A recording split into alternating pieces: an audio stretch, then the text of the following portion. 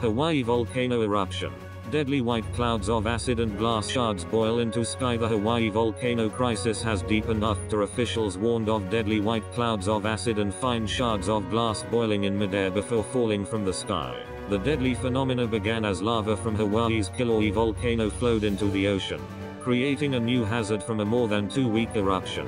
Hawaii's Civil Defense Agency warned motorists, boaters and beachgoers to beware of toxic clouds of so-called laze, a combination of lava and haze, which formed as two streams of hot lava poured into seawater.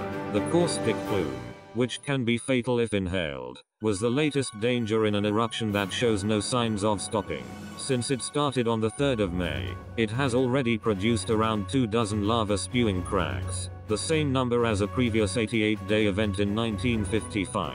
The eruption has entered a more violent phase, in which large volumes of rich, orange molten rock, hotter and faster than older magma, are streaming out of fissures in the ground that have erupted around a small area of rural communities. We've seen phase 1. We've seen the clearing out of the system. We call that the throat clearing phase. Carolyn Parcheta, operational geologist at the Hawaiian Volcano Observatory, told reporters on a conference call.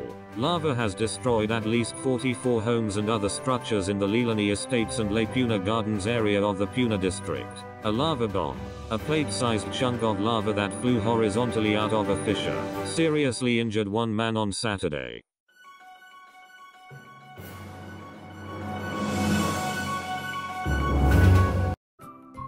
Thank you for watching. Please subscribe to us on YouTube. If you like donate to us visit home on the page PayPal.